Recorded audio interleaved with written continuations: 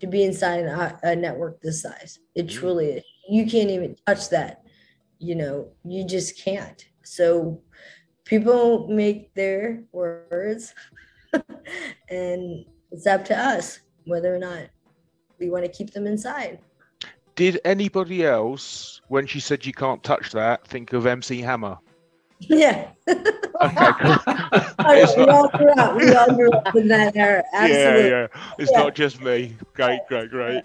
So, um, is this and this book is so exciting? Definitely do it. Um, are you gonna are you gonna put the person's messages and their? Is it gonna be a collection of? It's gonna be my top ten tips and like top 10 ever that I've I've kept in my mind for like the last you know years I've been doing this. And it will be so and the thing is like I give that information you know every week. You know I just did a talk with you in London right? Yeah. And so if people are giving you this advice let alone they're giving it to you for free let's not even talk about that. Like they're giving it to you for free. It's up to you whether or not you're going to take it in. Mm. I mean, that's what I have uh, two mentors on LinkedIn that have been with me when I started with like a thousand followers, and I'm still deeply loyal to them. And I believe in passing that ladder down. And I'm trying to teach people hey, if somebody gave you advice, someone helped you, please pass it down to the next group of people. That's crucial. I am not making this introduction on a formal basis, but as a soon to be published author, Rachel, uh, Julie up there, she's in top Hi, right. Of, yeah. Do you know each other? No, Julia, uh, we, have never met. No. Oh, cool. Okay. Uh, oh man, of course we're recording. I'll I won't edit this out, but yeah, because I didn't realise I know everyone. Oh, if I've met Jack, Jackie, have we met? Yeah, yeah. Okay, say hi, everyone. Say hi. hi.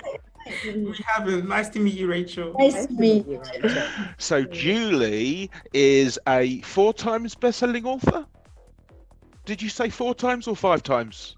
No. How many times? Twice. Okay. Congratulations. Four as well. Oh, yeah. Was it you, Jackie, who's done four? Not me. I'm going mad. And and and, and right. okay. You're, prophesying. you're prophesying. Um, yes, possibly, yeah, yeah, that, yeah, could well be. So, um, Jackie. Okay. Absurd.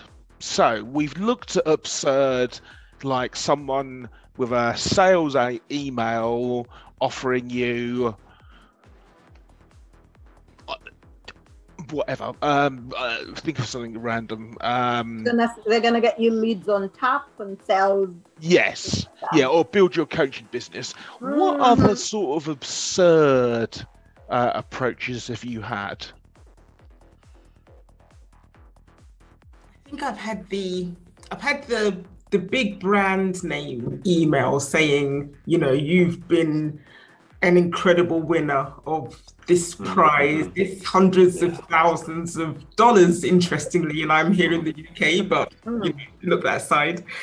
Um, and then just you know provide your bank details and we'll get this transfer. I'm like, really, really, really, really. I mean, can that possibly ever work for anybody? And uh, that's probably the most ridiculous types of emails that I would get. That is ridiculous. You, if you go and look at the uh, the sender of the email, it's like brand name at xwq174 something something yeah, yeah. dot net. And it's like you didn't even try. Yeah yeah, yeah.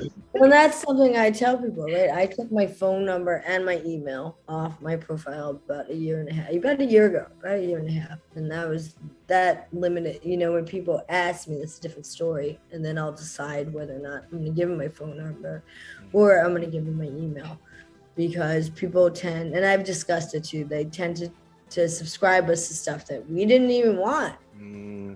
And so that that's I always tell people like that's on you. You know, if you want to have your email up on your profile, you want to have your phone number, it's you you have to create those boundaries.